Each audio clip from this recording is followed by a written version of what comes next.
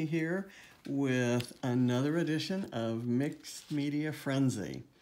Um, this is the sketch we are all working from this week, and I'll kind of quickly give you a, uh, a review of the things that I'm uh, noticing about it. Uh, there's some splooshy mixed media up in here and a scalloped um, uh, paper uh, border strip here and a frame with some hearts and a, and a bow. We're not going to go with hearts because I'm actually going to do a Christmas layout.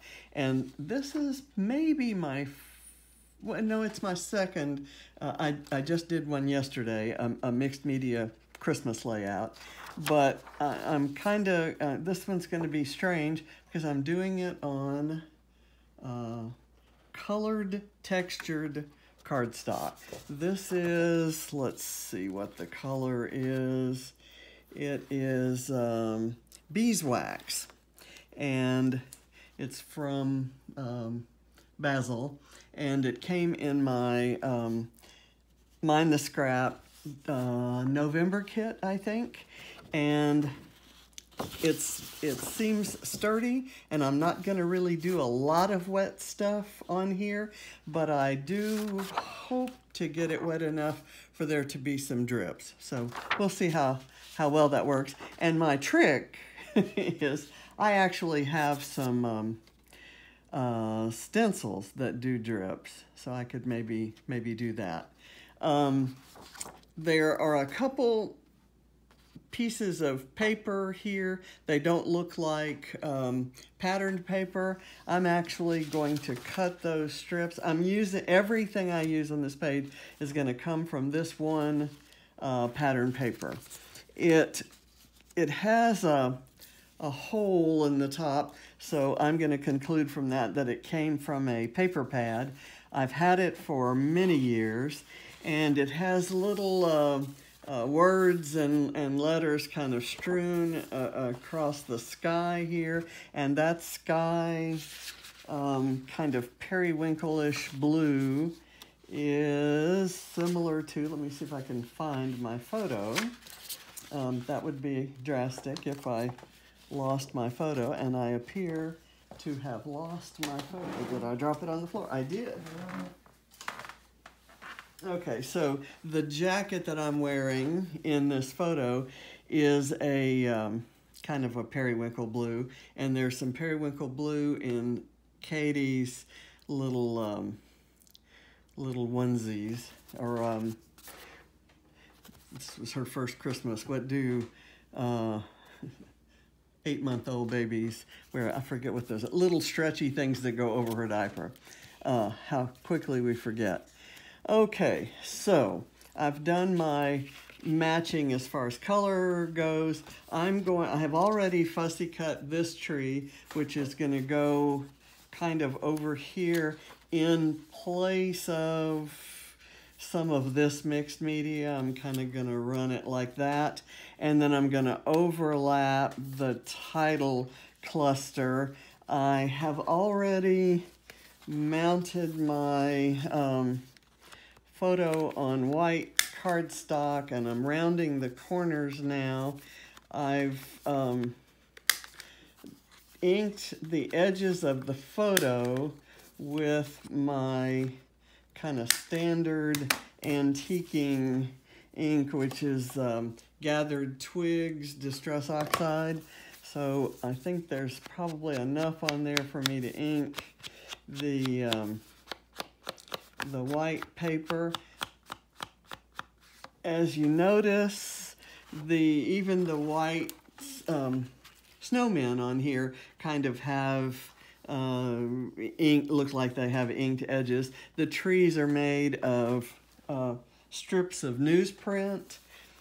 And so I'm gonna, I'm gonna skip the newsprint in these two areas. I've got several different ways I do newsprint, and in this case, uh, the way I'm going to do it is to not do it because I'm adding in these Christmas elements and I really don't want it to be too busy. Okay, so that's what's going to go for the photo. I'm going to put that aside. I think I'll go ahead and cut, because these words are facing all kinds of different directions, I'm going to cut my strips kind of this way. And I may use one or more. I think I'm just going to fussy cut the little uh, tree there. I'll do this, and I'm going to kind of do a an angle cut there, and I will do a Eh, another angle cut in kind of the same place. And I'm not going to worry about whether it's the same angle, and it isn't, I'm sure. So I can do something like that. Actually, let me do, we'll see. We'll see what I end up doing. But the very next thing I'm going to do is uh, ink those edges because I think that's what's being indicated in the in the sketch. And I kind of want to go with that uh, distressed look. It will tie in my mind my silly mind it will tie the um, the blue and the other Christmassy colors in with this kind of mustardy um, beeswax colored uh, cardstock. So these are slightly different widths and let me see what I'm doing here. Okay, I'm going to put the dis the distress oxide off to the side. I'm going to kind of line these things up.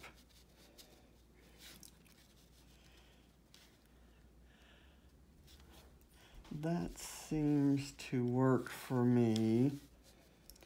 Um, and I'm going to let them be a little longer than they are in the in the example because my photos a little going to be a little wider. My photo cluster is going to be a little bit wider.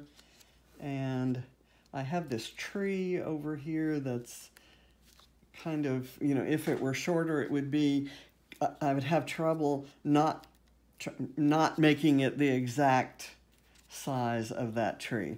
Okay, so that's kind of where that's going to be placed. And I will have a little bit of mixed media kind of in this area. Um, and up here at the top of that pattern paper was this strip, and I'm going to distress it now that I think about it. It's kind of a um, newsprint um, rickrack sort of piece. I'm not going to scallop it. I'm going to do this with it, and then I may work in um, this branding strip from there, maybe see if, see if it works to build a little cluster there. Another thing I'm going to use is I die cut this little uh, frame for a Christmas card, um, I think last year. And it's kind of gray wood grain and and I'm thinking it needs to be more uh, have more of the the brown color. So I'm going to go ahead and ink it as well not changing the whole thing but clearly distressing it. And I'm going to use if you'll notice in the original there's a frame in this photo cluster and a couple frames in this one I'm going to cut this frame in two and use both halves of it. And I'll build the cluster on top. Okay, I'm gonna put these aside and I think that's all the distressing. I, I do want to distress the Holly Jolly. I'm not quite sure that I'm going to use it, but if I do, it'll be ready. okay, now I'm going to do the mixed media part. And this is the most magical stuff in the world. It's infusions, colored stains, and it's by a company called Paper Artsy from the UK. I got it in my Mind the Scrap December kit, and it's called Slate Blue. It's kind of a, instead of spelling it slate, S-L-A-T-E, they spell it like a sleigh because it's a, a Christmassy kind of thing. And I honestly failed at first to see what was going to be Christmassy about it. And I actually, you'll see in a minute what, what I saw yesterday when I used it. Um, it's just, it's a powdered pigment similar to what, if you've ever used um, Color Burst, uh, Ken, uh, Ken Oliver's Color Bursts, it's like that. And, but it's in a, a color that I might not have chosen for myself. I'm going to very lightly sprinkle it on here and then I'll spritz with water and then we'll kind of add more as we see fit. And I don't want to get a lot. I have a kind of a tool that actually this is a pencil that's going to loosen that up. I may, I'm used to using these in something of a, like a little squeeze bottle. And I'll put a little bit over in here. Okay, here we go. Here's the, here's the magic.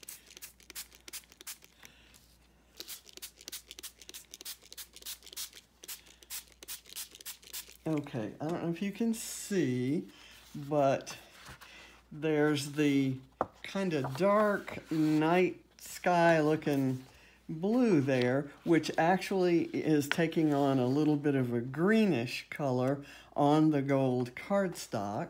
I'm running the drips the wrong way, but that's, that's okay. I didn't want these to run too much. I'll run them this way, and that's I, I'm, I'm thinking that wherever the drips want to go, I'm going to be okay with that. Let me get some paper towel here to kind of catch the drops on my mat. I'm going to, right now, say that I've gotten the effects I wanted to get. And though I don't usually do this to mixed media projects, I found when I experimented yesterday, it actually did very nicely. So I'm going to roll this over, and it does take up some of the, the pigment, but we're going to kind of work with that. Um, and and i I'm just going to kind of leave it like this, and then we'll see I'll probably use some splatters uh, later on to add to it. And I can use any number of different colors of those. Okay, so here I'm going to go ahead and glue this tree on and that's going to help me determine where those two strips are. Now this, um, this paper is uh, treated with a, a shiny finish and it makes it curl up. So I really had to get lots of adhesive on it. It looks like right in through here might be a good place for my photo cluster. So I'll place this here on the very edge because it, because it was cut from the edge of the other paper. Okay. I'm going to put some foam behind this photo, making sure I'm not getting the photo on my mixed media.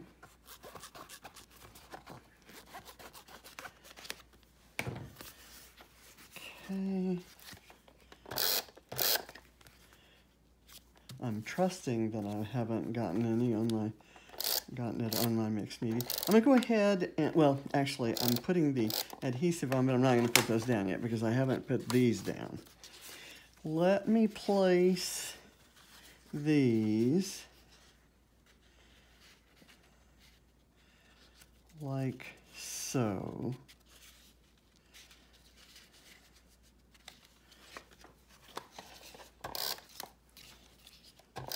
By the time we start grouping things by, by building clusters, the placement of these won't be as important, but I do want the difference in height.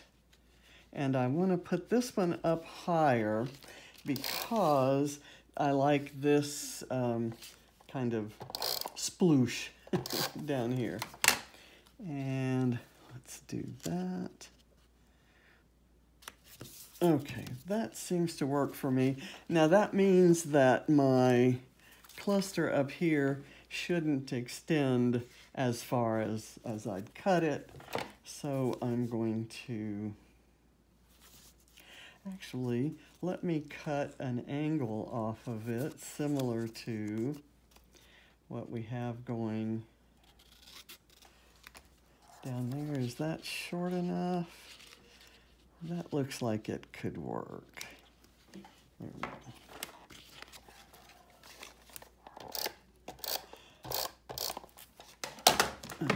Picking up some of the, um, of course I knew that, that when I dried it with the paper towel, that wasn't going to be enough to like really dry it. And you can see it's beginning to curl a little bit, which I also expected. But when I'm done with this, I'm going to hit it with a, uh, a heat gun on the back. And when you do that, it tends to straighten out the, um, the curling. Okay, I'm gonna do this here let me raise this and kind of let it overlap that way. I like that. Okay, so that kind of tucks it further over this way. Make sure that's straight. My eyes deceive me sometimes when there are other elements and when I line up with some, in this case I'm trying to line this up with the side, the uh, edge of the page.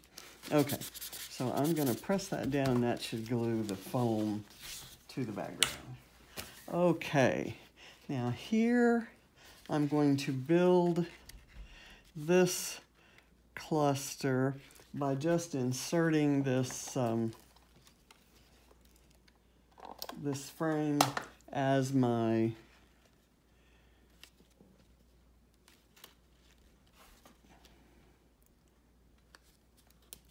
as my foundation. I'm going to use this Holly Jolly here and let me, um, I may have to go back, because it's chipboard, I may have to go back and, um, and do, um,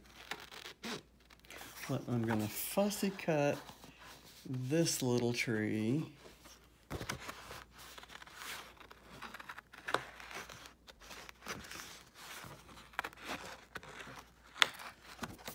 and let it kind of be part of that cluster. I'm not make, taking great pains to follow the exact contour of the tree. Um,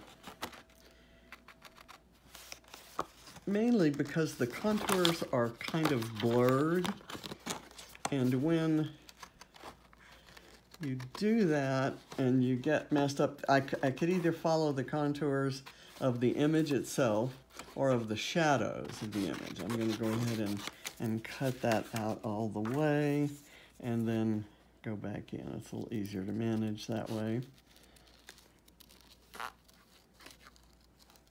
And in some cases, you've got some blue streaks that are coming off of it. In some cases, you've got some white, and, and it's meant to look like there's some mixed media in the background here, like it's kind of a collage tree. So I'm going to do that and maybe kind of tuck this under there. Okay. I like that, and then I'll incorporate that bow and get some liquid glue. I'm losing um, with an image this big instead of the hearts that are shown in the original. I'm losing a bit of the um, of the look of the frame, and that's okay. Um, kind of okay with that. I'm going to let the rest of the tree kind of curl up if it wants to. And I'm going to kind of stick this bow right here at the juncture of the chipboard holly jolly circle and the tree trunk. Something sticking to that. I may have to go back. Okay, there we go. Just a little piece of stuff. Okay, this frame I will put under here. And I'm going to use a little liquid glue there. And I'm going to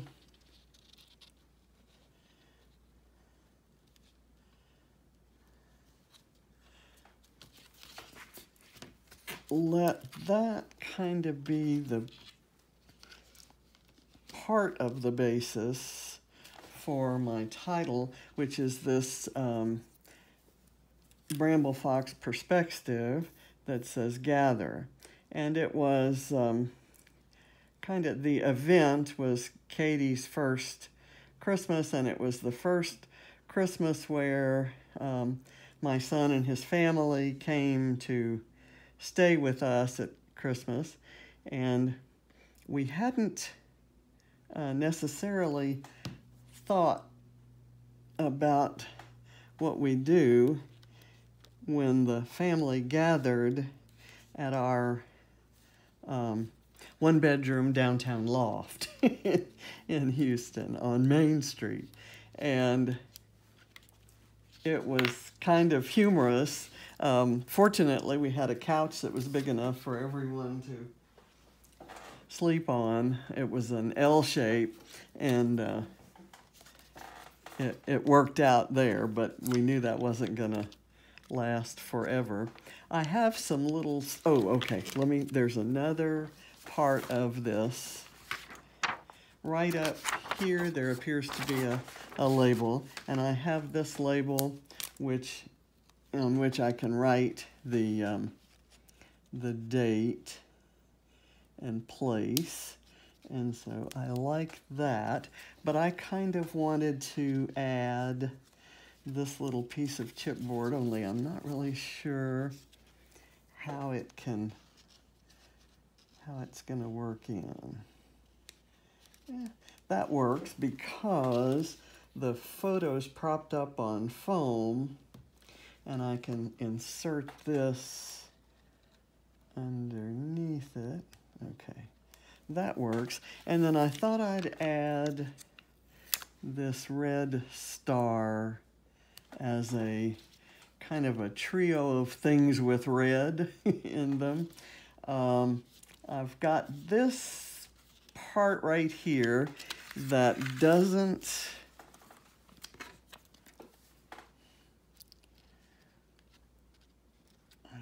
could I use that?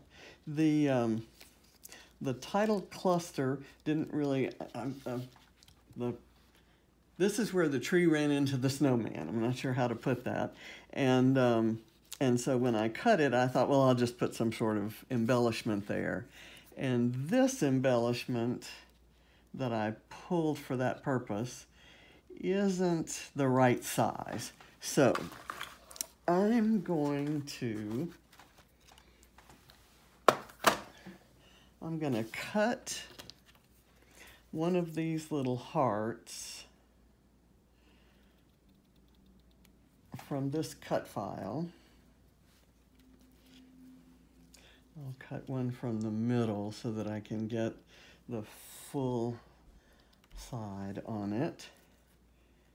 And I'm going to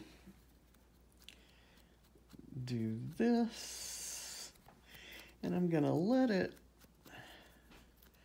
uh, I'll decide whether or not I want to back it. I'm, I'm thinking I may not. I'd like to get away without backing it. So let me get the top to my glue. Not seeing it. Um, ah, here it is. Okay. Um, I'll need some there. Let's see, I could do this. I think it's going to need a backing. So I'll go hunt for something to back it with, and it may very likely be, um, yeah, maybe, maybe something from this larger tree. And that might be confusing putting it over there. So I may go, oh, I know what.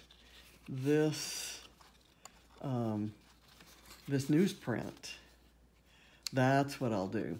It's, it's, if I turn it at exactly the right angle, I can get some newsprint there. Okay, I will do that off camera. In the meantime, I'm, I submit this as my week's work for Mixed Media Frenzy, and I, I kind of, I didn't go overboard with different techniques on the mixed media because I actually kind of like this. I, therefore, it's kind of left some, um, and, and drying it kind of left some, some spots. I'm not able to open the gold, so let's go with this guy.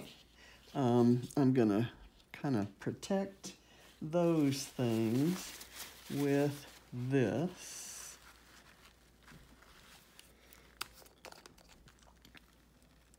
And I'll do some splatters there so that that part doesn't look so empty.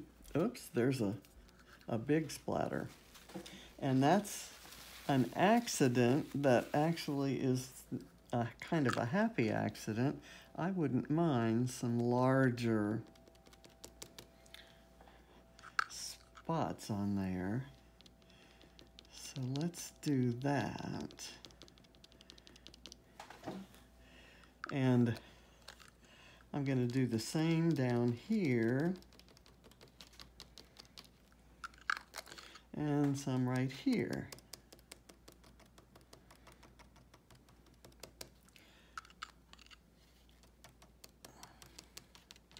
And that's kind of wet enough that it might actually drip. Or not. Yeah, there it is. It's dripping a little bit. Okay, so that's good. And that is um, Mr. Huey's silver. And it's it's this kind of translucent black or charcoaly color if you don't shake it up. And sometimes it's fun not to shake it up. I have this Heidi Swapp Tinsel color, which is similar, but it leaves a little bit more metallic kind of shine and has some of that blue in it. So I kind of had it designated for use. And here, I'm going to try to get it on that blue paper. I got some on the photo, which is okay, the photo frame. It'll all just look kind of, okay, there's a, a blurs. And you can already see